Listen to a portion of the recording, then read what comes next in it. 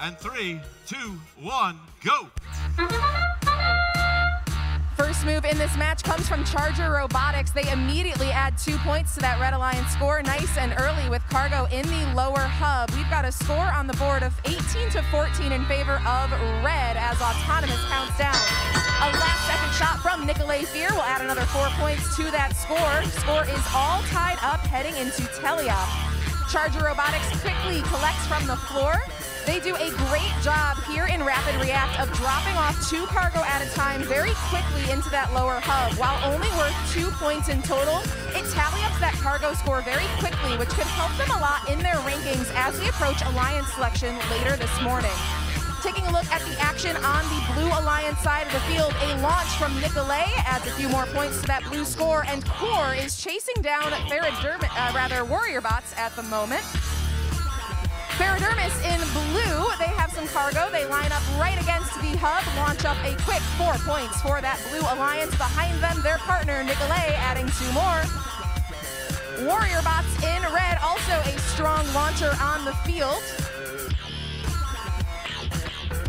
And launches coming up from Beast Robotics as well for the Red Alliance. Just over one minute remaining in the match. The Red Alliance leads 39 to 33. Red has now earned that bonus ranking point for scoring 20 cargo in this match so far, and they've got a minute to even increase their score more. Warrior Bots puts up another launch for the Red Alliance while Charger Robotics does what they do best. Collect cargo from the playing field floor, drop it off for a quick two points for the Red Alliance. In the Blue Alliance hangar zone, Nicolet Fear is already thinking about strategy, possibly. They did leave that hangar zone with some cargo to add a few more offensive points to the Blue Alliance tally.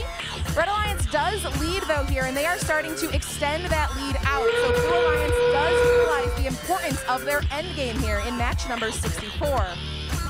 First off the ground is going to be Ferradermis. We know they can score tons of points in the hangar, but it is matched equally by Warrior Bots in red.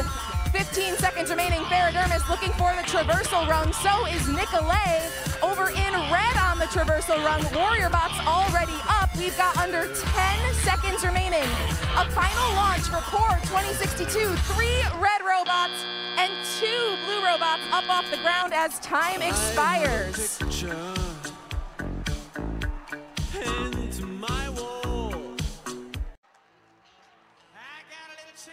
In that match, Red Alliance takes the win 86 to 70. We do see two members, uh, all three members of that Red Alliance raising in their rankings. They earned four ranking points, two for the win, one for the hangar, and one for their cargo.